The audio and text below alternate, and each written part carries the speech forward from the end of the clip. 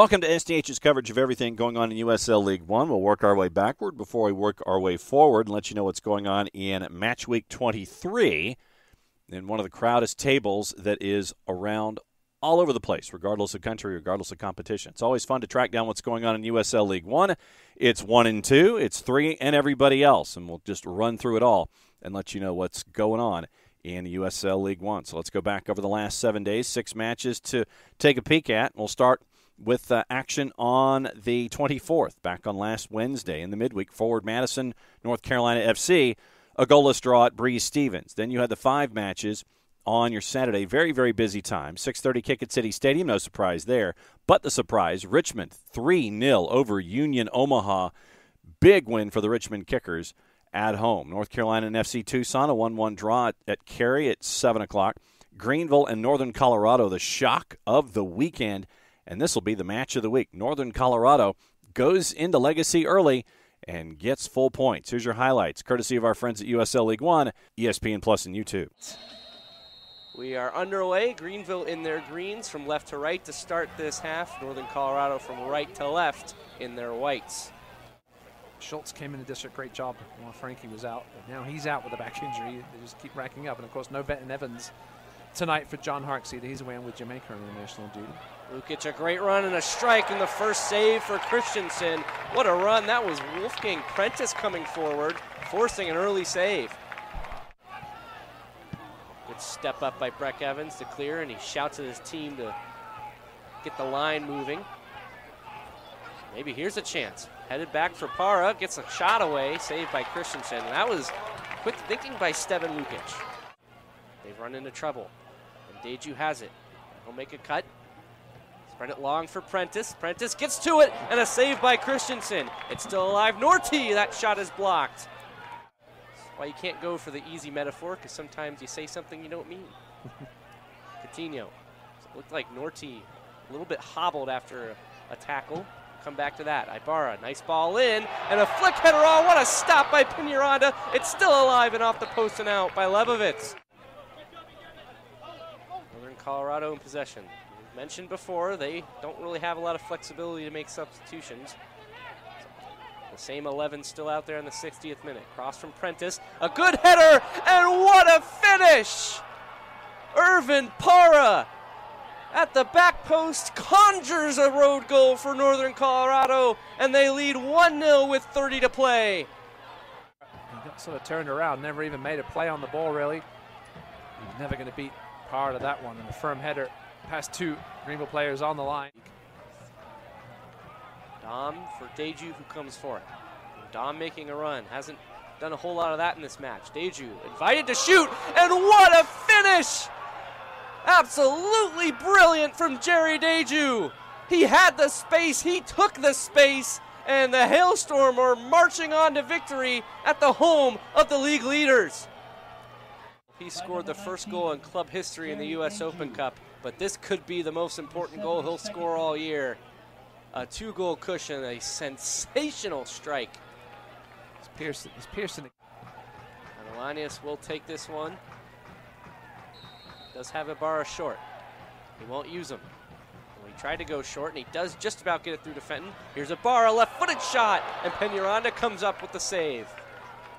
He runs into the advertising board, and that is that a massive result for Northern Colorado. They go on the road to the league leaders and they take them down emphatically 2 0 winners. 2 0 win at a plus 254. Northern Colorado gets the Duke over Greenville Triumph. Big win that they need, that uh, Coach Eamon Zayed and the Hailstorm need no question.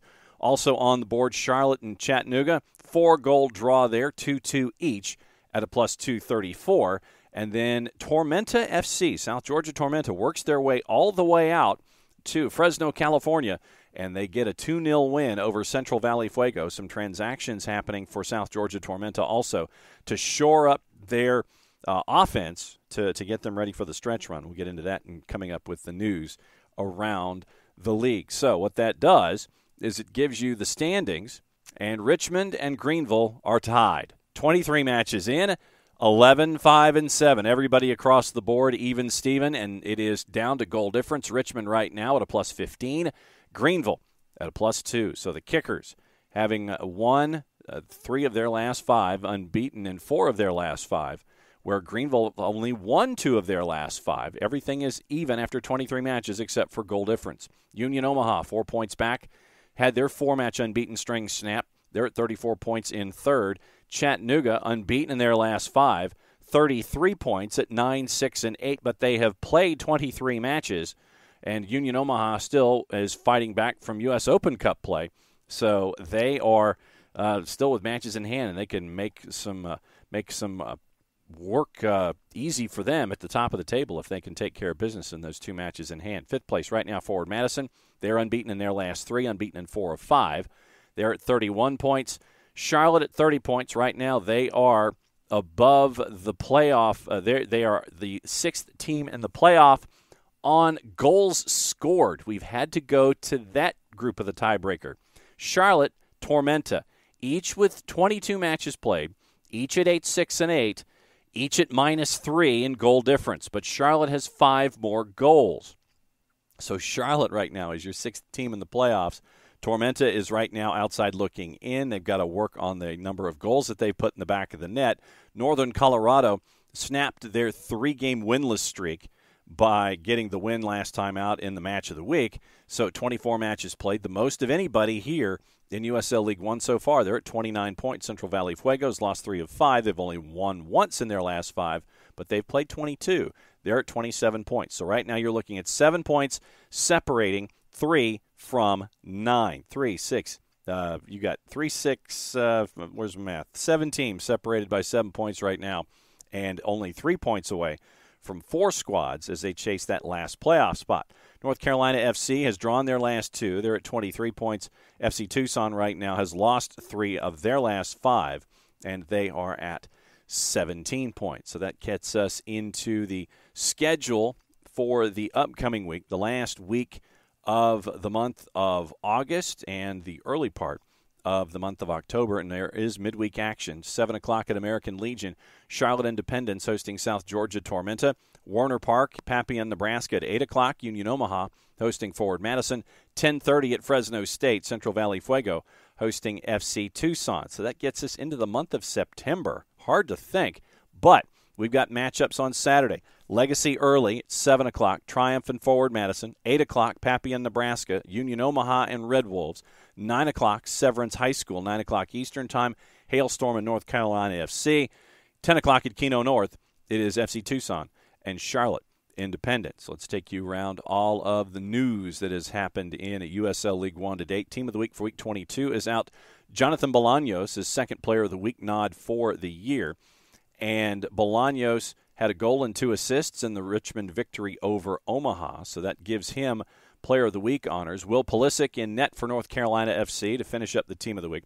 Backline of four: Jalen Chrysler from Richmond, Owen Dom from Hailstorm, Jake Dengler from Tormenta, Arthur Rogers from Hailstorm. Midfield four: Bolaños, Mo Espinoza from Chattanooga, Miguel Ibarra from Charlotte, Luis Perez from FC Tucson, Keziah Sterling and Emiliano Terzaghi up top with your forwards of two. So that is how things lay out when it comes to Team of the Week in USL Championship. Other news that is uh, going on currently. Uh, former U.S. Uh, youth national midfielder Mukwelle Akale signs with uh, South Georgia Tormenta after six years within the Villarreal CF youth and reserve system. The native of Minneapolis, Minnesota, pen, uh, returns pending league and federation approval. He'll be playing professionally for the first time in the United States after seven years in Spain and Cyprus, playing with U19C and B teams of Villarreal before spending a season with Paphos of the Cypriot First Division. Uh, Kale's uh, featured for US uh, U17, U18 to U20. 25 year old has made 28 combined youth national team appearances and scored seven goals. Also on the board, Tormenta signs uh, League Two standout Mutaya Mwape, also for the remainder of the year. And he will join pending league and federation approval. Joins the first team after spending the summer with Tormenta FC2 in League Two. Professional experience with him to Tormenta. Played with Charlotte Independence in the championship, the Kickers in League One. Four goals, eight assists, and 53 appearances from 2018 to 2020 in League Two with T2 Mwape started 11 matches, 616 minutes, one assist, or sorry, one goal, three assists. Professional debut in Charlotte.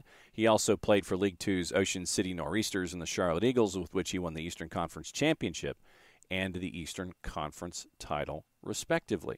So, very, very busy work being done by the front office of South Georgia Tormenta for the stretch run. And a reminder that Omaha signed former youth national team defender Shaft Brewer as well. So, a lot of action going on for the teams that are trying to make their pushes in USL League One. So that will get you ready for all the news and everything. And remember, you can go to USLLeagueONE.com to stay up to date with the newsletter. You can sign up and get all the information as it comes across on a daily basis. And for USL League One, don't forget to uh, be a part of their social media experience on Twitter, on Facebook, and on Instagram. So that's another full week of everything going on in USL League One. If you are in market and can attend a match, attend a match. We already told you just how tough it is in the standings right now.